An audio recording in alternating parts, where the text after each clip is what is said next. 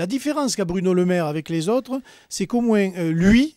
que je ne connais pas, hein, il, a, des idées quand même qui, euh, euh, en matière notamment institutionnelle, sortent un peu de l'ordinaire. Mais comme il est ultra minoritaire,